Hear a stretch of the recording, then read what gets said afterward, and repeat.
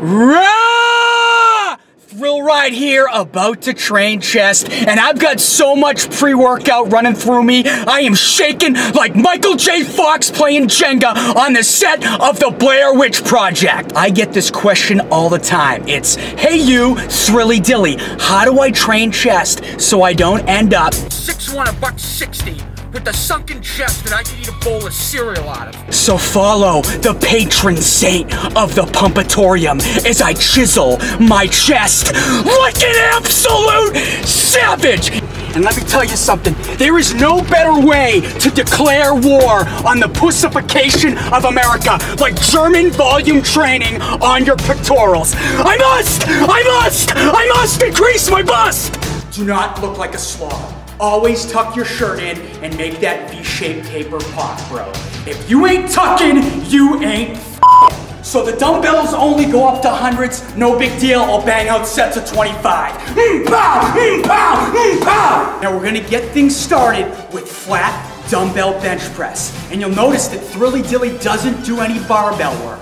You might ask yourself why. Number one, you get more range of motion and better contraction at the top of the rep. And number two, because my joints can't take it anymore, because in my 20s, I had more chemicals running through me than Johnson & Johnson during the Ebola crisis. Thrilly's a natty daddy! Mmm, pow! Mmm, pow! Mmm, pow! Mmm, pow! Mmm, pow! Mmm, pow!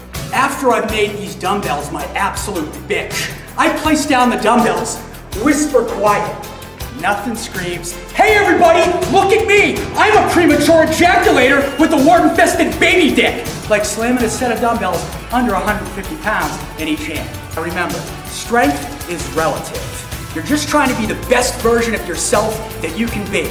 You're not competing with anybody except yourself. The gym, it's a safe space.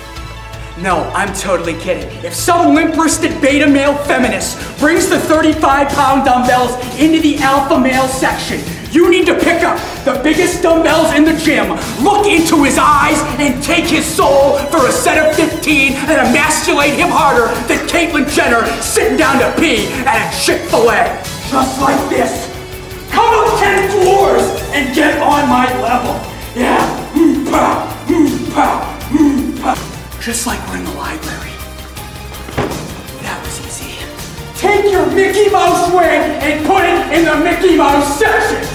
What if God was one of us? Din, din, din, din. Just a slob like one of you. Do, do, do, do. It's as satisfying to me as uh, coming is, you know, as uh, having sex with a woman and coming. Oh God, why is it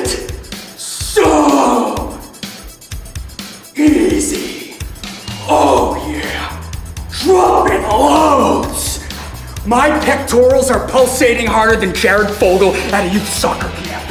Up next is dumbbell incline bench press. And most trainers will tell you the most important part of the rep is when you squeeze at the top. That's actually incorrect. The most important part of the rep is when you scream out the name of a jack pro wrestler with buttloads of charisma. Luger!